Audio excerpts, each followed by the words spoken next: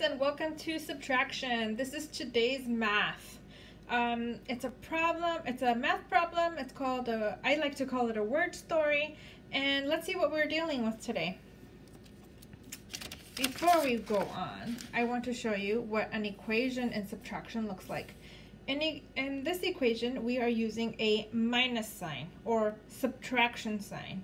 It helps us take away.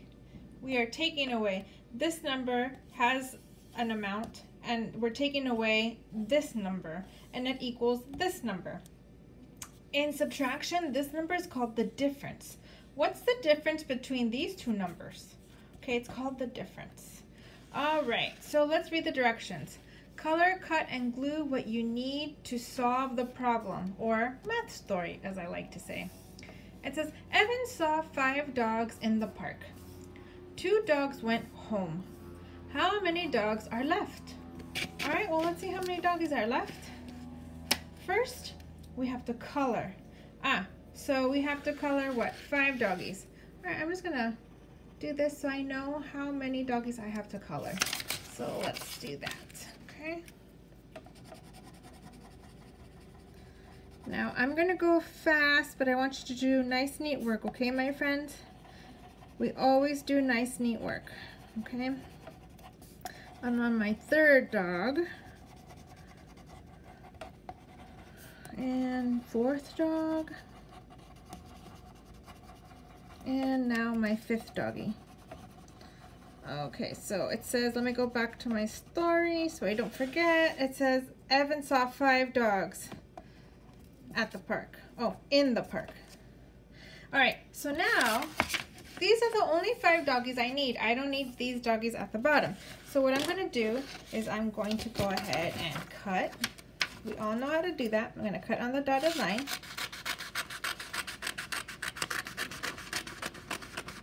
All right. Put that there. And now I'm going to cut out my doggies.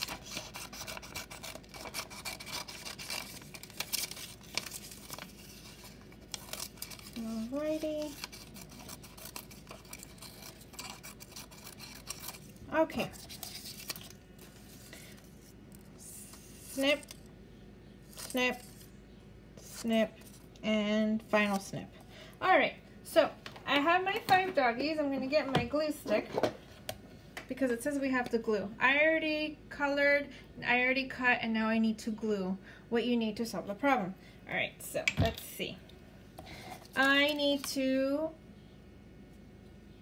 uh, paste or glue the five doggies that Evan saw. All right, one, two, three, four, and five. All right, now, two dogs went home. The way I'm going to show that two doggies went home is I'm going to cross them out. One doggy went home, two doggies went home. Let me do that with my crayon so that you can better see my X's. One doggy, ah, it's not dry yet.